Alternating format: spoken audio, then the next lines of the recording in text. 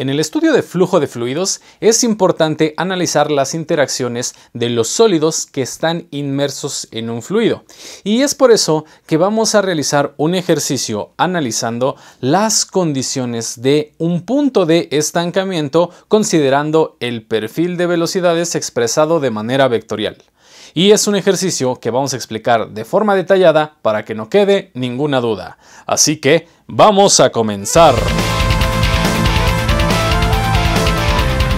Bienvenidas y bienvenidos familia Phi a este nuevo video donde realizaremos un análisis para el perfil de velocidades que tenemos expresado de manera vectorial.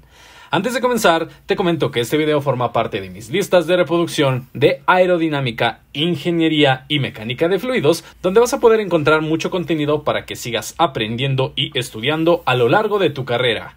Y ahora sí, vamos a ver qué dice el enunciado correspondiente a este campo de velocidad, que dice lo siguiente. Considere el siguiente campo de velocidad bidimensional estacionario y la pregunta es, ¿existe un punto de estancamiento en este campo de flujo? Si es así, ¿dónde está? Esto es lo que vamos a analizar, recordando que un punto de estancamiento es un lugar en coordenadas donde la velocidad del flujo de forma local es igual a cero, tendremos que igualar nuestros componentes de velocidad con cero. Entonces, partiendo de esto, tenemos que, en condiciones de estancamiento, el vector velocidad será igual a cero recordando que podemos identificar los componentes de la velocidad como U, V y W, donde en este caso al ser un flujo bidimensional únicamente tenemos U y V, que vamos a señalar de la siguiente manera. Acabamos de copiar exactamente el mismo perfil de velocidades y aquí tenemos la componente nu y la componente v. Si se tiene que cumplir que el vector velocidad tenga que ser igual a cero, significa que de forma independiente cada componente tendría que ser igual a cero. Por lo tanto, al ser u igual a cero y v igual a cero, significa que lo que hay dentro de los paréntesis para nuestros componentes será cero.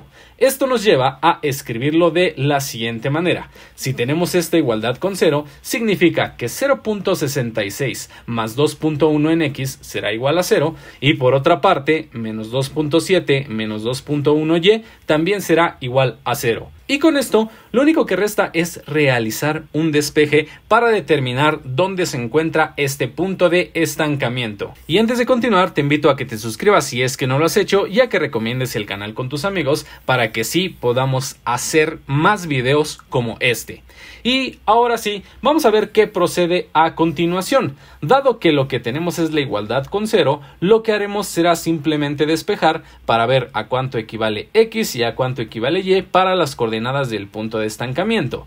Y haciendo este despeje de forma sencilla, tendremos para la parte de x menos 0.66 dividido entre 2.1 y para el caso de y tendremos 2.7 despejado dividido entre menos 2.1 y con esto las coordenadas del punto de estancamiento son en x igual a menos 0.314 y menos 1.286 unidades respectivamente. Aquí como tal no ponemos metros, pies, pulgadas, etcétera, porque no se dan las unidades en las que se trabaja el campo de velocidad.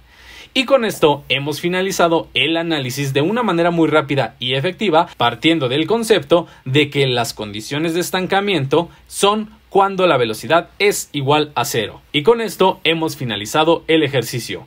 Muy sencillo, ¿verdad? Pues así es con todos mis demás videos de ingeniería aerodinámica y mecánica de fluidos que podrás encontrar en mis distintas listas de reproducción.